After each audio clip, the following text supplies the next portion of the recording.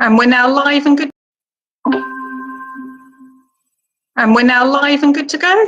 We are now live, Chair. Thank you. Fantastic. Welcome everyone to this evening's Cabinet Procurement Committee. Apologies both for the change in start time and then subsequent slightly late start. Councillor Burke and I have come straight from another meeting we've been in all day. Um, in a hurry, we're not entirely perfectly set up, so also apologies for acoustics, bad lighting, uh, and Councillor Burke is sat socially distanced from me in the same room, so it'll just be a voice, uh, anonymous voice uh, down, uh, I going to say airways, whatever, uh, broadband connection, whatever tonight. Um, so taking us through, so I'll take us through the agenda, we have to go through Oh, the rules we have to go through, so we have to remind everyone that this is under the current emergency procedures, that meeting's been live streamed for public viewing and be uploaded after the meeting together with the decision sheet. Um, and press and public will be asked, asked to leave um, after the public business has been completed if you want to discuss any exempt appendices. And then Clifford is over to you for the rules, I believe. Yes, thank you, Chair. I know that some, or nearly everyone here has heard these before, but there are some people joining us that haven't, so therefore it's necessary for all public live stream meetings to um, advise the committee of the um, protocols. So the first um, point is only please speak when invited to by the chair and all participating members to keep their cameras on during the proceedings wherever possible and also, if anyone wishes to speak, again, raise your hand like so and direct all communications via the chair. Please could you ensure that your mics are muted when you are not speaking. However, the chair will have her microphone on through the whole proceedings. If you are referring to a specific page or page number, appendix, diagram, please refer to this. Given the way that the agendas have been compiled with due to the current um, IT issues and we can't produce a pack, um, it that makes it a little bit more difficult. So the chair will in, advise this, but please allow for people to find the pages um, and also asking that you speak clearly and slowly as well when introducing your report and making reference to any paragraphs. If you are having any difficulties of a technical nature, please use the little square in the corner of the, for the chat function and Mario, our IT expert, will try to um, assist wherever possible. Um, but do not use the chat function for formal questions or making any other comments. It is visible um, to the meeting.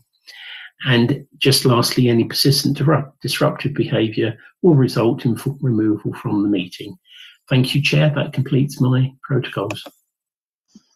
Brilliant. Thanks, Clifford. I was about to be mean to Councillor Burke as he sat opposite me and saying that as he's not not logged on himself tonight, we're not at risk of illicit chat in the uh, in the sidebar occurring. he, he, claims he's totally innocent. Uh, right, turn into the agenda proper. Uh, so apologies for absence. Uh, well, we had an apology uh, for lateness of Deputy Mayor Bramble, but I think that was before the meeting changed, and I'm pretty sure I just saw Deputy Mayor Bramble come on screen there. So all members, yeah, fantastic. Hello, all members present, correct? Thank you. I have been online. Yes, I have been online. Thank you, Councillor Rennison. Fantastic. So. Uh,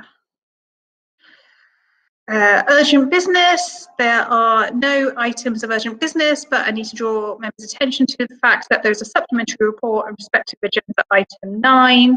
Um, as this is for noting only, there's no requirement to record reasons for lateness, um, but more that the supplementary report slightly amends some of the originally circulated report, does not in any way affect the recommendations of the committee to consider.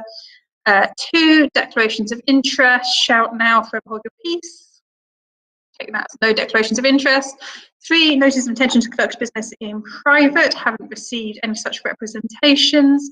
Questions, deputations, petitions, none received. As I always say, one day we will get one. Uh, unrestricted minutes of Cabinet Procurement Committee held on 9th of November. Can we agree the unrestricted minutes of 9th of November? Agreed. Agreed. That's a chorus of agreed. Uh, which brings us on to our first substantive item, item seven, um, extension of temporary accommodation dynamic purchasing system. And Claire, I think we've got you here to introduce the report. I'm pretty sure I saw you flash up on screen. Yeah, hi, I'm here. Um, yes, I'm here to introduce um, this report that's asking for an extension of the dynamic purchasing system that we currently use to procure temporary accommodation for homeless customers. Um, it's an essential that we have this in order that we have a temporary accommodation available for people that present homeless on the day. Uh, the current framework's been in place for four years and expires on in January next year. Um, we are looking for an extension of up to three years. In that time, we are also hoping to look at some of our processes internally and other systems available because we would, in an ideal world, like to use something more integrated um, and perhaps more modern. Brilliant. Thanks, Claire. Is that you? Sorry, it was cracking up a bit at my end. Is that you finished? Uh, yeah, sorry, I do. yeah, that, um, oh, unless you need any more. That, that's great. It was everyone else, it might have just been my end of the signal, was everyone else able to hear the introduction?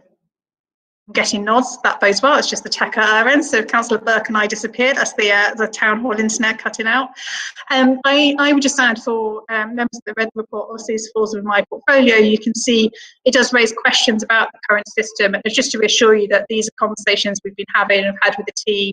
Um, and it's something Claire and the service are well aware of and working to address. And it's just the pressures of the time scale mean we're not in a position to move to a different system um, at this point, unless Claire, you, you disagree with any of that.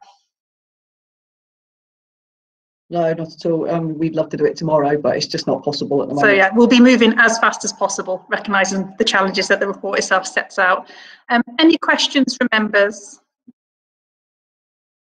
Not seen any, in which case can I ask that we agree, um, Clifford was on to flag as an exempt appendix to this? No, there isn't. So it's a straightforward, can we just agree the recommendations as set out? Agreed? Agreed. Agreed. Thank you, Chair. Thank you. Brilliant. Thanks all. Thanks, Claire. Thank you. Uh, brilliant. That brings us on to item eight, um, provision of residential sales agent service for the sale of new residential property at the Makers. Um, and we should have Mike Sparrow here to introduce. Uh, yes, you do. Can you see me okay? Perfect. I do. I do. I, feel at a disadvantage joining the meeting just before we started, not being able to sort of scan the virtual room to see where everyone is. Uh, uh, yes, uh, I'll introduce uh, uh, this report. Uh, this report is about the re-procurement of a main sales agent for the Makers development um, in Nile Street in Hackney. Um, it's it's to address the unsold properties that we have left at the Makers. Currently, that's 93 um, that are remaining to be sold. Uh, the contract was with uh, Cushman and Wakefield since 2016, um, but as uh, detailed in the report, Cushman's um, are trying to get out of or wanting to get out of the sales, residential sales business, although they're continuing with other business. And they um, started, uh, they gave us notice to, to terminate their contract. Um, during that period, we've managed to coax them to extend uh, that termination until the end of December, uh, while it gave us an opportunity to re-procure a new sales agent. Uh, and this report sets out that contract award, and we're asking for um, a recommendation to accept it. Um, I, I, think that's sufficient, and I'm open for questions. Brilliant, thank you. Any questions from members? Not, oh, not really any questions, but uh, but it might Sorry, have some assurances about the sort of you know the marketability, I guess, of those remaining properties. I, I think that the change will cause some consternation amongst the public, so some assurances might be helpful. Some assurances in respect to the sales.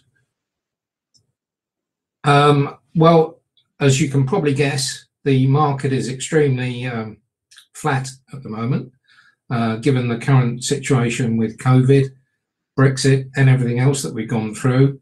Um, we are still selling. There's not there's not an issue in selling. and it's still um, attractive to the market.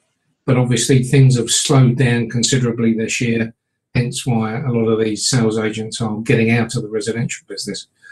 Um, we will sell them. It will just take time, and we need a, um, a, a quality um, residential uh, sales agent to make sure that we do get the right prices for these.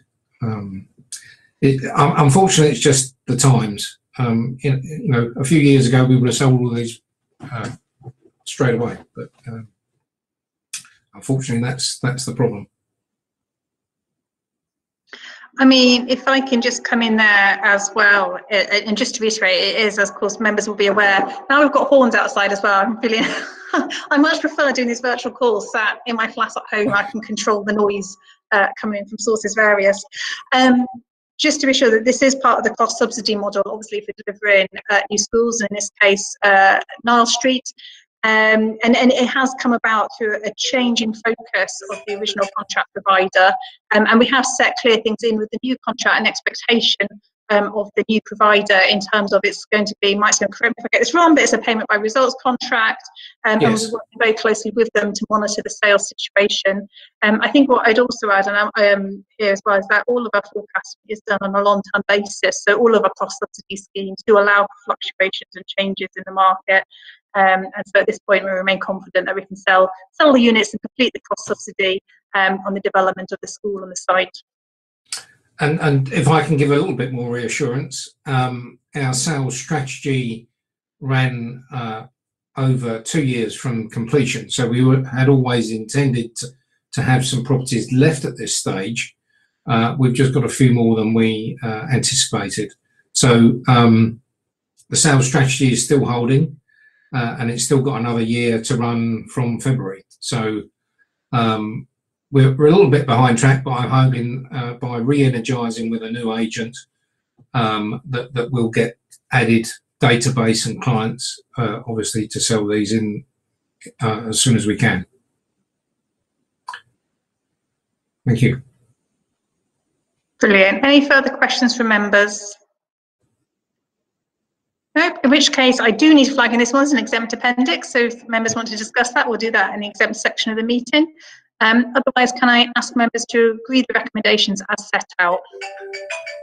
Agreed.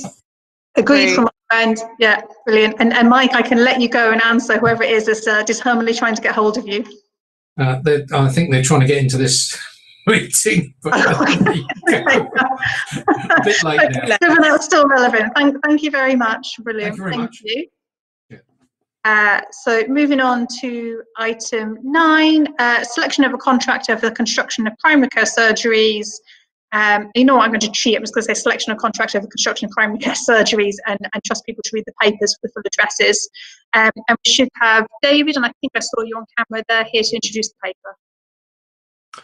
Uh, yes, good evening, everyone. Um, uh, yes, this is the paper setting out a request or the recommendation for the procurement of a contractor or contractors uh, using EU restricted procedure for uh, two new primary care surgeries, uh, both on council-owned land, freehold-owned land, one at uh, Llantheria 2 to 28 Belfast Road in N16, and the other is the building known as the Portico Building at 34 Linscott Road, E5.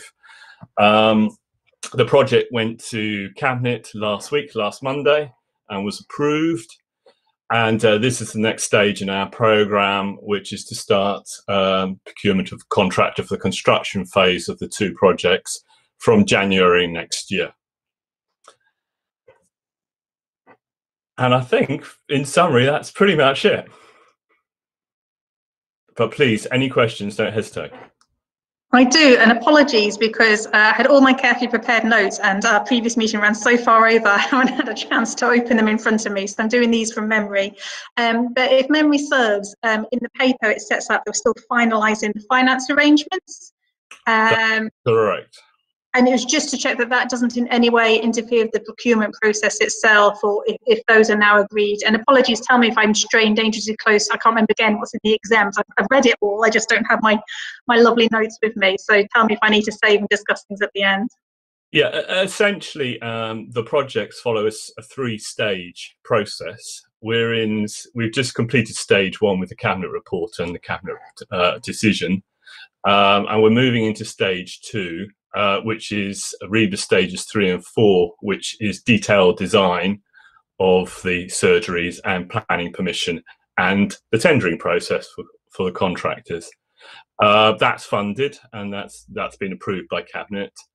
And then uh, before stage three, construction phase, there's another pause, another review of viability um, with the finance colleagues. And uh, assuming that the uh, tender returns and the rents that are going to be received on the two surgeries add up effectively and it's seen as being viable, we'll then proceed with the expenditure on the construction phase. But in principle, uh, the projects are seen as viable by Cabinet and uh, the funding will be forthcoming. The exact source of which finance have sort of, how do I put it? It's, they still have options. So the reason it's yet to be finalised is we want to see the tenders coming in and confirmation that the, the costs are what, what we're expecting, if I've understood that right. That's correct, yes. We, we want to do a final viability test on actuals. So we'll have actual costs and we'll also have at that stage actual rents confirmed by the district valuer who sets the rents on primary care facilities. Brilliant, thank you. And I should also flag uh, that this is the paper that has a supplementary paper attached to it, which uh, people should have received. I think it, we got it came out last thing Friday, the end. Clifford or nod or shake if I've got that right or wrong. Um, and it just goes into more detail how we ensure that the process aligns with our sustainable procurement strategy um, as it goes forward. Unless you wanted to add anything further to that, David. Uh, other than to say that is the case, the paper just sort of firms that up a little further from the original drafting. Brilliant. Any further questions from colleagues? I'm seeing heads shaken, in which case can I ask, uh, or again, I just need to check as an exempt appendix for this one. There are, so normal rules, they have to be discussed at the end if people want to. Uh, can I ask members that we agree the recommendations as set out? So coercive agreed. Agreed from our end. Brilliant. Great. That's great. Thanks, David. Thanks very much. Thank um, you. And then we've got one final paper, I think. Uh, 10 is just an information item, which Rotimi, you're going to introduce, but I think this is very much a clarification and for noting, isn't it? Yes, Chair, that's, it's really an information item. Uh, the paper provides uh, up updated information to the professional consultancy framework contract award report that was approved by members last month. Uh, following the approval of the report last month, a technical error was discovered uh, in the spreadsheet that was used for collecting the evaluation scores provided in the report. Uh, so basically, these have now been corrected, and as provided in this addendum, I can confirm uh, that the correction does not impact on the decision that was made by the committee last month. Um, and I think it's just important for us to provide this information in accordance with the uh, principles of uh, transparency. Uh, so this is really what this is about, uh, transparency. Brilliant. Thanks for TV. Does anyone want any further clarification or any questions on this? It's just for noting. No, brilliant. Can we note the paper? Noted. Or is it noted from our end? Uh, great, which takes us through all the agenda items. Uh, any other, and hang on, just check them right in the order. So that was 10. So item 11, any other unrestricted business the chair considers to be urgent? There is none. Can we note the dates of future meetings? Uh, I'm going to take those as noted. We don't need to exclude the press and public because we're not going to discuss anything in the exempt section. So just noting the exempt appendices. And then can we agree the exempt minutes of 9th of November? Of course, have agreed. Agreed. agreed. Perfect. Um, and we have no items of exempt urgent business. And unless Clifford starts waving at me that there's other things we need to cover, uh, that is the meeting done and we can bring to close. So thank you very much, uh, Councillor Woodley. I promised you it would be, it looked like a speedy meeting. That was amazing. so wish you well for your meeting later this evening. Brilliant. Thanks, everyone. Thanks. Thank you, Chair.